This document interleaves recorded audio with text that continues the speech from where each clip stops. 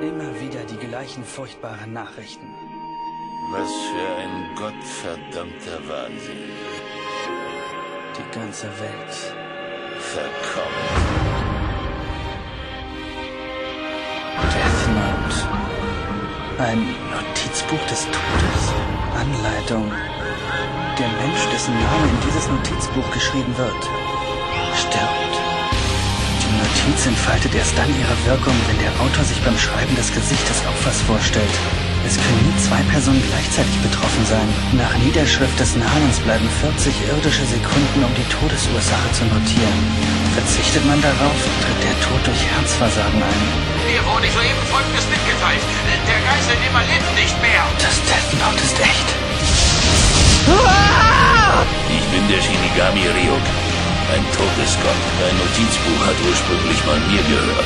Ich habe die Namen der größten Schwerverbrecher reingeschrieben. Die ganze Welt soll erfahren, dass es mich gibt.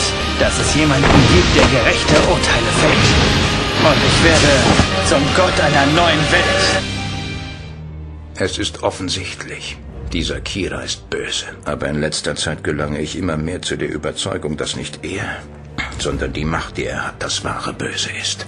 Wenn jemand über solche Macht verfügt, ist das für ihn ein Unglück. Ganz gleich, wie er sie einsetzt. Die innere Zufriedenheit, die diese Macht ihm bringt, ist nicht das, für das er sie hält. Mein Vater leitet sämtliche Ermittlungen im Fall Kira. Es ist eine beispiellos grausame Verbrechensserie. So wie ich das sehe, sind wir wieder einmal auf Els Hilfe angewiesen. Dieser L, das bin ich. Kira hasst es zu verlieren. Und in diesem Punkt ähneln wir beide uns. Ich hasse es genauso. Das, was du da gerade machst, ist böse. Ich soll böse sein? Ich bin gerecht!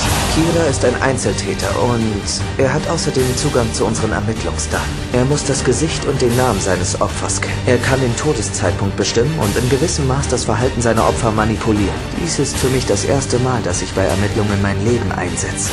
Beweisen wir Kira, dass wir zu allem entschlossen sind. Zeigen wir ihm, dass die Gerechtigkeit immer siegt. Beide kennen weder Gesicht noch Namen des anderen. Und der Erste, dessen Identität aufgedeckt wird, stirbt. Ich sag's ja, Menschen sind einfach Glase. Wir beide sind Mörder und werden uns in der Hölle wiedersehen.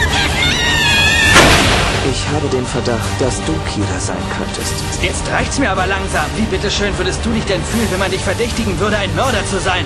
Entschuldigen Sie bitte, aber für wie kompetent halten Sie denn eine Behörde, die vor Kira den Schwanz einzieht?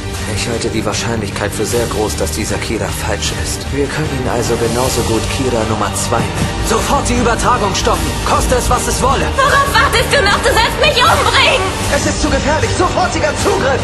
Kira, ich schwöre, dass ich dich töten werde, wenn ich dich gefunden habe. Denn ich, denn ich bin gerecht.